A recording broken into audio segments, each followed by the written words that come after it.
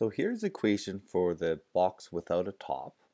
So we end up with x is our height, our width is 25 minus x, 1x, and then our length is 20 minus 2x because we cut off x from both sides. Okay, that 25 is just taking half of the half of the paper and using that as the base. So if you take a look here, here's my graph. Now, looks like the solution here ends up being 4.402 and the volume is 1015. Now it's curious to note that this is exactly the same amount to cut from the corners and we get exactly half the volume when we want to actually put a lid on that same box with the same piece of paper.